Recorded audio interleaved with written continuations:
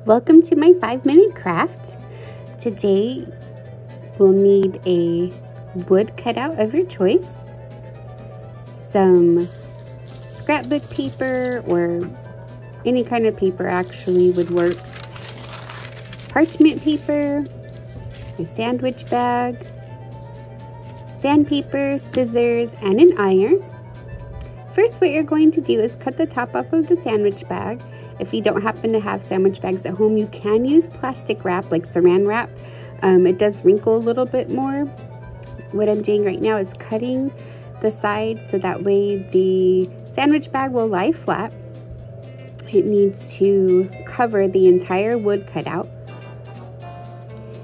When you turn on your iron, make sure it is on the cotton or linen setting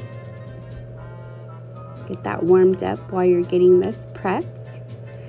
That will be the barrier between the paper and the wood. The plastic will kind of help adhere it. Now why I love this project so much is because I do love uh, sometimes just an easy easy way to adhere paper or pictures to wood and Mod Podge does leave a lot of little bumps and such. So I'm going to lay the paper on it and then I'm going to lay the parchment paper over. Uh, you can use wax paper as well, um, but I found that that works. The parchment paper seems to work pretty well. My iron is steaming a little bit. It's on the highest setting. Um, it doesn't necessarily have to steam. You just want to completely cover um, the paper with the iron until you feel like it is not going to come up.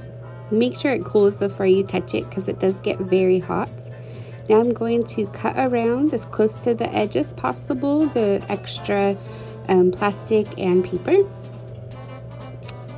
And once I do that, then I'll take my sandpaper and I will sand the edges a bit.